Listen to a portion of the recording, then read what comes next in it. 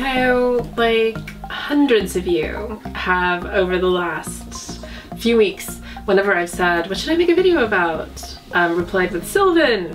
what happened to Sylvain? What about Sylvain? Tell us about Sylvain. So today I thought I might talk about Carter, just kidding. Tell you about Sylvain, um, or at least my vision of Sylvain and what I think about his past and his future. So here we go. So Sylvain Cassel, what is there to say? Dreamy blue eyes, wavy brown hair, tawny skin. I mean, what's not to like, right? But in fact, a completely complicated character. I think we can all agree. It's funny because when I started writing Night School, I'd read a lot of YA, and in fact I've done a video about the books that sort of influenced my writing. But in all of them, I mean, love trilogies were a thing. They were such a thing. And I still like them, sorry. I still like them, not in everything, and I wouldn't put them in everything, but in Night School for me, it, it was probably strongly influenced by how many young adult books I read had them and that tug of the different tug and pull of the different like emotions on someone's heart especially when they're quite young and when they're just meeting people for the first time because Allie comes into night school and she hasn't known anybody very long when it all just like she doesn't know Sylvain she doesn't know Carter she hasn't had time to get to know who's good and who isn't or if they're both good or not and in all the books I'd read, so many of them, there was a good guy and a bad guy. Although in Twilight, there were two great guys um, allegedly. Um, although none of us really loved the werewolf. Did we? Oh, sorry, if you loved the werewolf, I apologize, but I just thought he was a bit wet in the British parlance.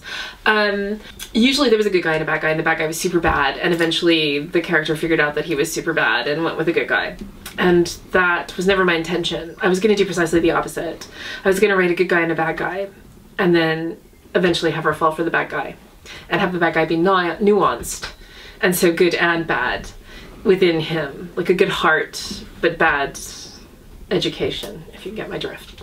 That's how I viewed Sylvain when I started, but it became, he became something different along the way. It was really fascinating to me because what he became in my mind was a really good guy from a good family who was just spoiled rotten and he'd forgotten or never learned how to accept no. Like nobody had ever told him no.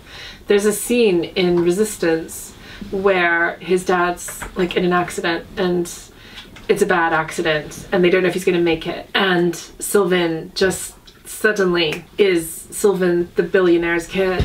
And he says to Isabel, get my plane, tell you know who to call, get it ready. And, you know, and then he just turns to walk out of the room like he's that guy. At 17, he can tell his head mistress, he can order her to get his plane and she does. Like, when you were raised like that, how do you not become spoiled and self indulgent? I'm just not sure it's possible.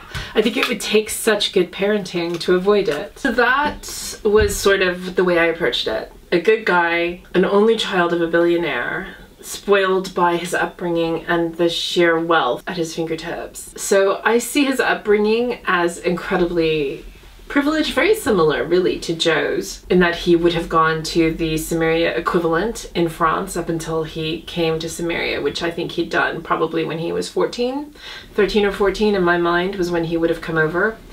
Maybe even a little younger, maybe 12. Because I have this theory, and I've always had it, and you can kind of see it in book one, that he and Carter had been friends when they were younger.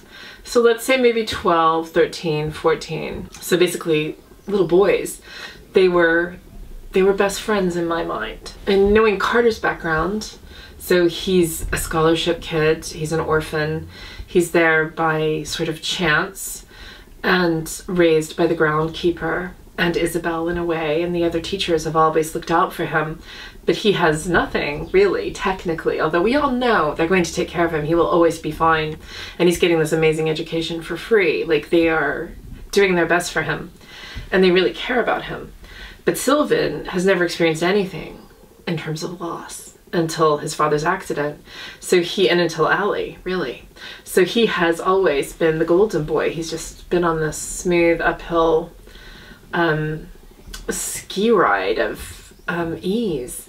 So I can imagine when they got to be 14, 15, when boys develop their own, girls too, develop their own true natures and personalities. You see Carter becoming more philosophical, reading more philosophical books. I always like he meant I think he reads Salinger in book one, I believe he does. So he's seeking sort of philosophical and spiritual guidance, and Sylvain's just rich, right? So he's kind of going in a different direction. He's becoming more self-indulgent. He's beautiful. So girls fall for him from the beginning. He's loaded, so he can buy anything he wants. His parents dote on him, so he feels like Superman. So he goes in a very different direction. That can really change you. You can start out, kids are kids, right? Whether they've got money or don't have money, they're just kids. But when you get to be a teenager or a young adult, that's when you're becoming the adult you're going to be and that's when I feel like he went a different direction. He he became more spoiled, more indulgent, and I imagine he and Carter fell out over his treatment of girls. And I've always thought that the things that people told Allie about Carter were lies. I mean, I've always just believed that, that it was designed to push her to Sylvain. I've never believed what they said about Carter was true. We never see any evidence of that, that he he dumps girls or jilts girls or is mean to them. I've always thought the truth behind that is shown by his behavior, and that is that he couldn't pretend to like a girl just just for sex or for whatever sort of ego boost that one gets from that when one doesn't really like somebody. That I think he really did. He does say to Allie that if he doesn't feel something on like the third date, then he knows it's not real and then he would break up and that often was taken very badly by the girl which i can completely get um, on both sides. Both sides i think in that are understandable. Whereas sylvain choosing a new girl every year to sort of seduce in some way or another and then dump usually a young girl. Well that that also makes sense in terms of his character. To me that makes sense in terms of his becoming more jaded because now he's 16 and people fawn over him because of his money and girls fall for him because of his looks and money and who his family is and that can make you really cynical very early. I have known some quite wealthy young men. I grew up with no money but i grew up in a rich neighborhood in houston. And so in my high school like we were i was the poor kid. And we weren't that poor but we were the poorest like we were known. It was known that we lived in the only apartment complex in the entire school district. Like, that was us. And I knew how the other kids lived, and the super rich among them were often the most jaded, or at least among them, there were some who quickly became very, very cynical and very like not abusive, but just testing to see what they could get away with all the time. Can I burn this down? Will I go to jail? No, huh? Thought not. Can I wreck this car? Um, will I get into trouble? No, thought not and so on. And so I wanted to play around with what that does to a young person's mind. But also with him, the thing that differentiates him from somebody who becomes a, basically a psychopath like Gabe is that when he is told no, when he loses Allie, when he loses what he wanted, he becomes a better person. He learns from that. Instead of becoming more bitter, he does try harder to become a good person. He sees what good is. He sees Carter and Allie and Rachel, and he wants to be like that. He and Katie lesser, to a lesser extent, Katie is the same. That they see these people working so hard, and they they get it. They do get it, both of them, and they want to be part of that, and they they they understand what goodness is. They then want to be good. They want for themselves something that their parents didn't know how to ask of them and so to be able to do that is to overcome the the privileges of their upbringing. And so that's why when people are extremely disdainful of sylvain because of what he does in book one i often say to them the sylvain in book four and the sylvain in book one are extremely different people. The sylvain in book one she should never have dated. The sylvain in book four i would forgive her for falling in love with. And so that is my take on like why I stand up for Sylvain despite what happens in book one. That is that is his journey. He's got to go on this journey. To become a good man, he's going to have to learn how to do it himself. We all kind of have to do that. We have to decide at a certain age, am I going to be a good person or am I going to be just a rich person or am I going to be just a an abusive person and, and we see people take those different paths. I want us to be able to see the journey they choose and to believe it it has to make sense. And with Sylvain, to me, it made perfect sense that he became a good person. But the question then remains what happens after he really loses Allie? What happens after the end? Because a lots of people have been horrified that he leaves without ever them ever having a rapprochement. They don't make up. They don't find a way for her to say to him without hurting him that she just wants to be his friend for life or that she thinks she should be his friend for life. They never have that moment. They have that brief conversation um, on a, in a very stressful time. And then he's gone. He goes. I get it. I get that people want that moment. But Sylvain is now nearly 18 in Endgame.